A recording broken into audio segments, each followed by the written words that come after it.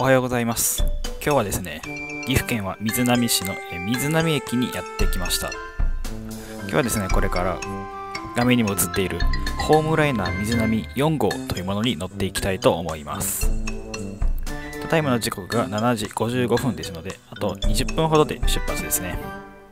では早速乗り込んでいきたいと思います。長いこれ10両編成ですよ。今のところ多分1人も乗ってていないかなっていう感じですね。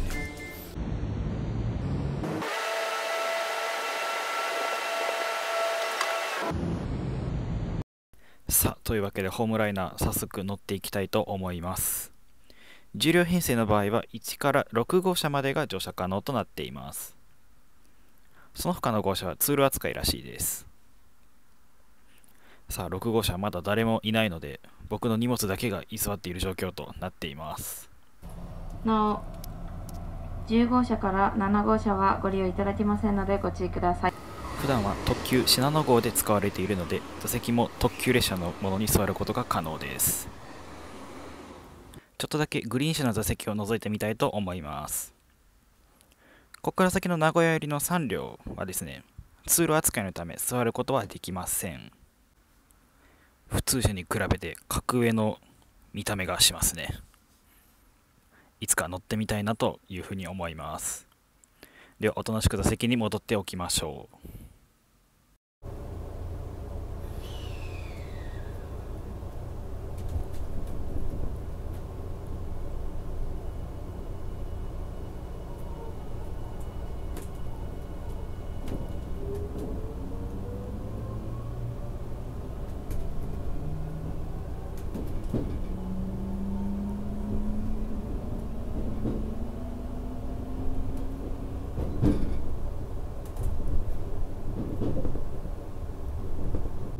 今日も JR 東海をご利用いただきましてありがとうございますこの列車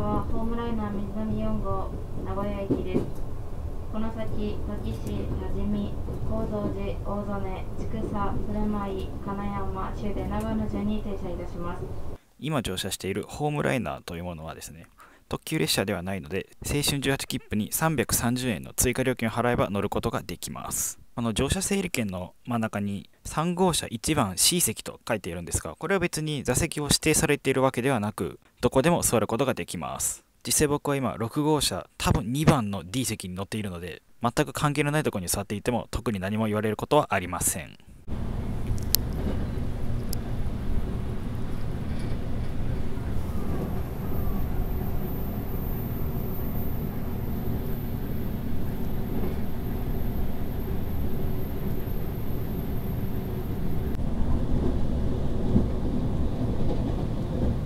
さあ列車は土岐市駅に到着。この駅土に分岐の木に市場の位置を書いて土岐市と読むんですけど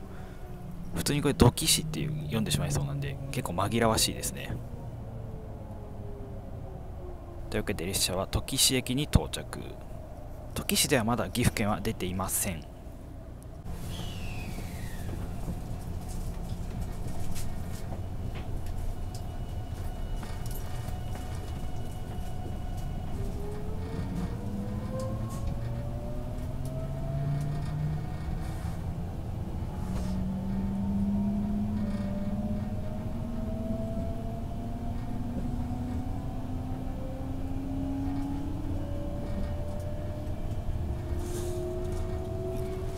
次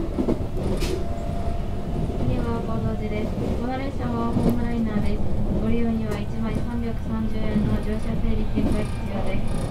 1号車はグリーン車ですグリーン券が必要です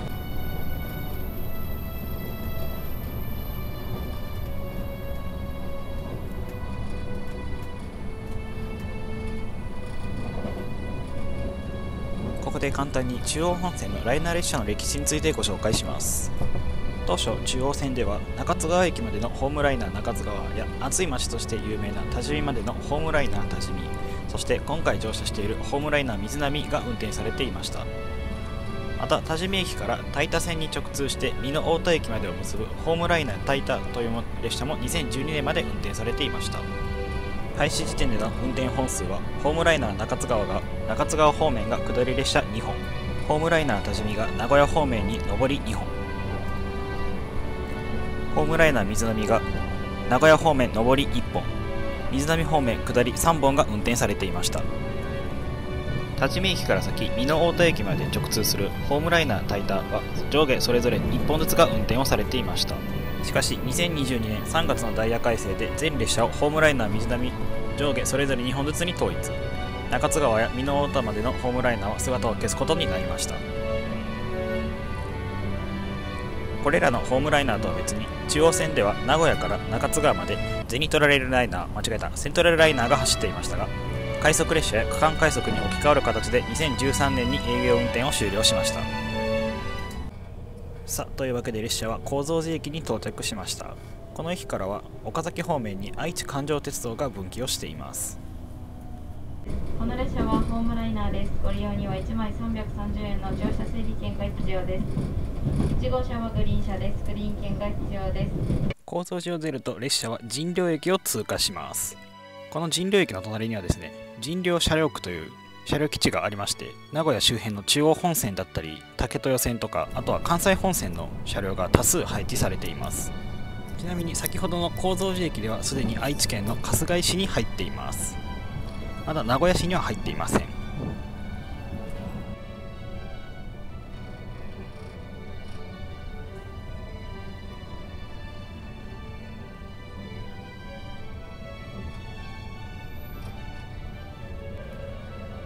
さあ列車は間もなく勝川駅を通過するわけなんですがこの勝川駅には謎の広大なスペースがありまして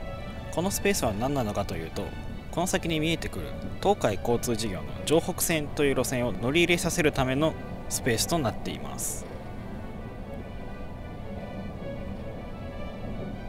反対側にもこのように広大なスペースがあり将来的には城北線の線路がここに乗り入れてくるかもしれないというふうに言われています。この木の裏側に見えるこの駅が東海交通事業と城北線の駅というふうになっています。全線複線の非電化でほとんどの区間が高架となっています。なかなか変わった路線ですね。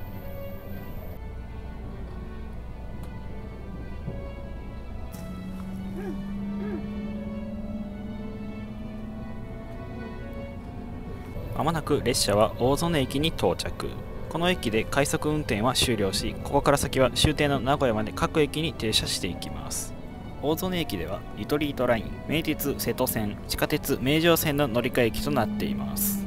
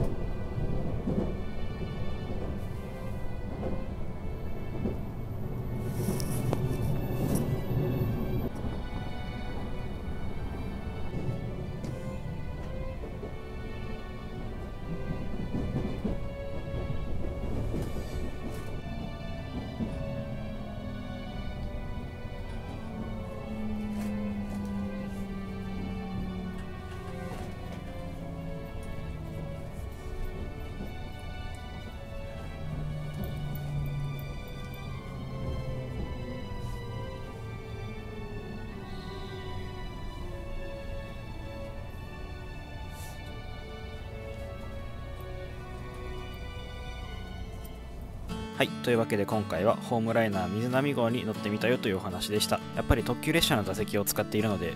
とても快適でしたね。というわけで僕はこれから500系新幹線に乗るために新大阪へ向かいたいと思います。最後までご視聴いただきましてありがとうございました。